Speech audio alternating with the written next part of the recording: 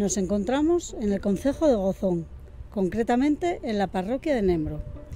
Esta propiedad consta de más de 4.000 metros cuadrados, de los cuales 214 son construidos y están divididos en cuadra, garaje y casa.